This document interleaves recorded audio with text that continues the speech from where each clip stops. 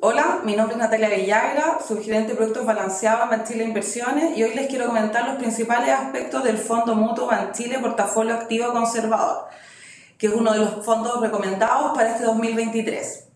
Este fondo es un fondo balanceado o multiactivo. Este quiere decir que no solo invierte en activos de renta fija local, sino también en renta fija internacional, renta variable local e internacional y en instrumentos de inversiones alternativas.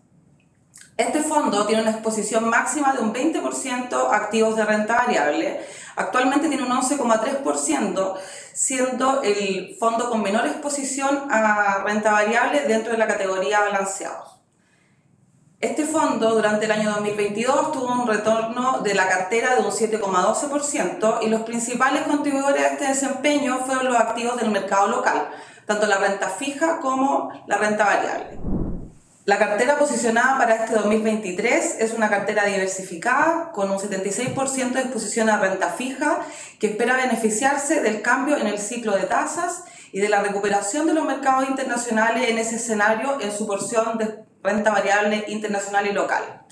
Por último, los invito a visitar el sitio web banchileinversiones.cl para revisar este y otros fondos recomendados en el informe de estrategia mirando al 2023.